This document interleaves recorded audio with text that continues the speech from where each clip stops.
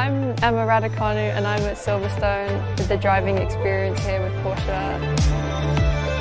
Okay, I'm ready.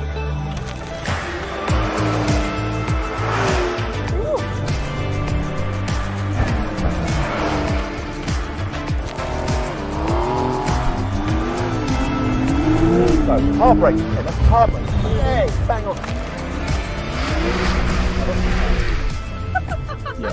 So once you've got it, you'll nail it. You'll nail it. Nail.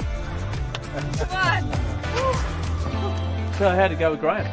It went well. I learned the basics. I hope you're in good hands. Let's do it. This is how it's supposed to feel.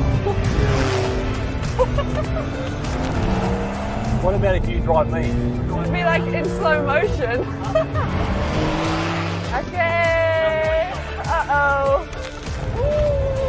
That was wide. I went a bit wide then, I was out. On the brakes now. Got a bit of sweat on here. no, me too, honestly. I was like, that's a workout. Well, I tell you what, What did you think? very handy. Yes. I found the track really good. I mean, it was a lot of fun for me and I was loving it. Literally faster, better.